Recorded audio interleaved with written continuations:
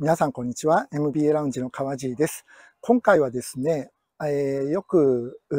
私の MBA ラウンジの受講生さんからですね、いただく、まあ、相談というか質問、これについてお話をしたいと思うんですよね。で、そこでよく出てくるのは、あのー、まあ、川地さんはいろんな方のね、MBA のサポートしてますけれども、なんかこう、うまくいかない人っていうのはどういう特徴を持ってますか？なんてね、こういうようなことを結構聞かれたりします。で、その中でね、一つお伝えすると、それはね、えー、マイナス思考の人ということがね、えー、言えると思いますよね。やっぱりね、マイナス思考だと私はできないとか、無理かも、ダメかも、ね、そういうこ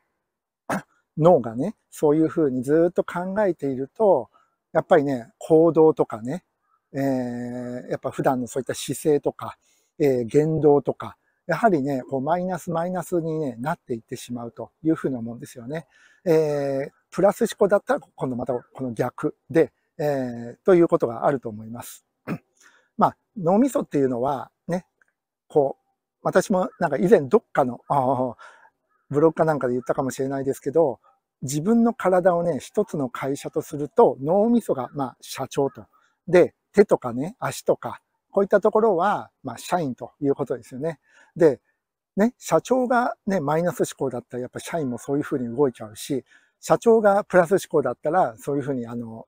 手足も動くというところで、まあ、ちょっとの差かもしれないですけれども、だんだんとね、日々、やっぱ変わっていくんですね。プラス思考だとこれできるかも。ちょっとあと5分頑張ってみようとか。あ、これできるかもしれない。ちょっとね、えー、メール一つ売ってみようとか、まあビジネスとかでもそうです。まあ MBA の受験だけじゃなくてね、そういう小さい積み重ねっていうのが、あの、積もり積もって、やっぱりあの、成功できる、そうじゃないっていうふうにね、分かれると思います。だから、自分のね、実力はどうのこうの、その前にですね、もう自分の社長であるね、えー、自分の体の中の社長である脳みそに、えー、プラス思考で常に考える、そういう命令を手足に出していくということがね、すごく重要だと思います。で、私もね、どちらかっていうと結構プラス思考ですね、なんてね、結構言われたりします。はい。で、今ね、私いるところね、えー、ここ、豊橋市民球場って書いてあるんですけどね、愛知県豊橋市のあの市民球場、地方球場なんですけどもね、ここに来るのは実はね、2回目で、1回目、えー、前回来た時はね、夏にですね、プロ野球のあの中日対ヤクルトの試合があったんですね。中日ドラゴンズ対ヤクルトスワローズの。で、まあこういった地方球場なんで、本当にね、確か3年ぶり、3年に1回とかっていうような形だったんですよね。私もこの近く住んでましてね、えー、だからか地方でやるっていうことで来たんですけども、その日に限ってね、雨、雨で中止になっちゃったんですね。しかもね、あの、ここに来て、中入って、えー、スターティングオーダーが発表されて、試合開始になる直前で中止ですと。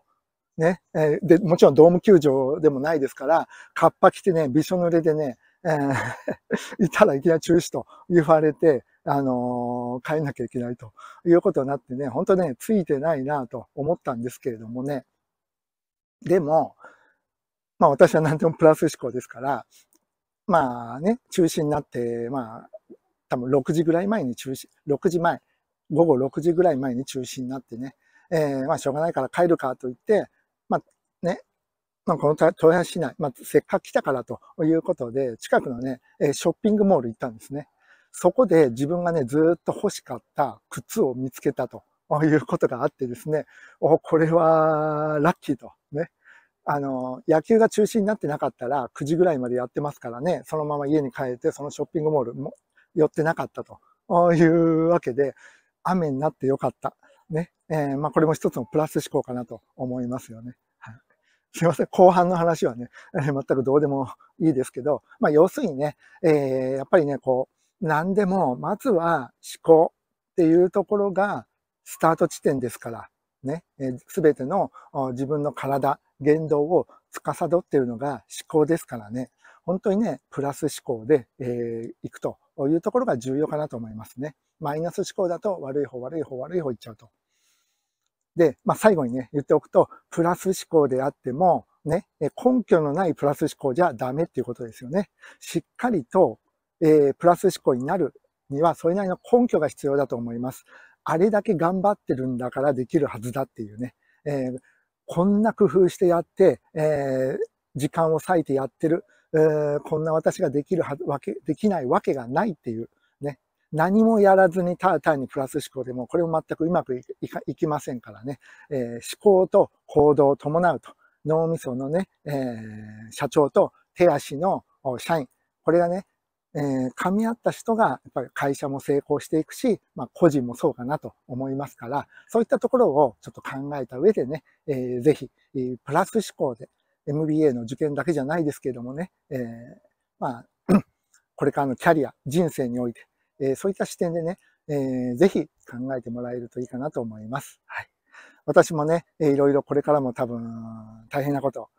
辛いこと、あ困難、いろいろあると思いますけども、なるべくプラス思考で、そして行動を伴うような形でやっていきたいと思います。はい、ということで、えー、本日はね、えー、豊橋市民球場の前から、えー、プラス思考とマイナス思考のについてのお話でした。以上です。ありがとうございました。